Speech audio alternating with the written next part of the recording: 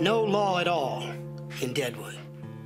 Gold you could scoop from the streams with your bare hands. People with cash on hand. Within a year, Deadwood and these hills will be annexed, and we will be restored to the bosom of the nation. His bosom ain't dead. Same thing.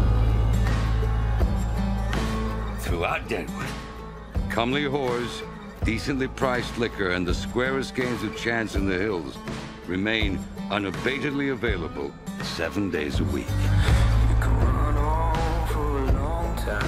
That is Mrs. Alma Garrett, whose husband purchased a gold claim for $20,000. I suppose a community such as this attracts a certain kind of man.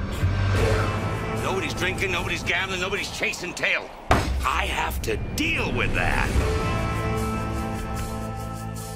Get along with people, turn a dollar, look out for yourself. Just don't wait too long. You're gonna find out something now about yourselves and your fellow man. You may run for a long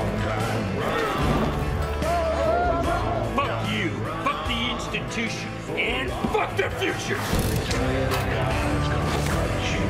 You cannot fuck the future, sir. The future fucks you.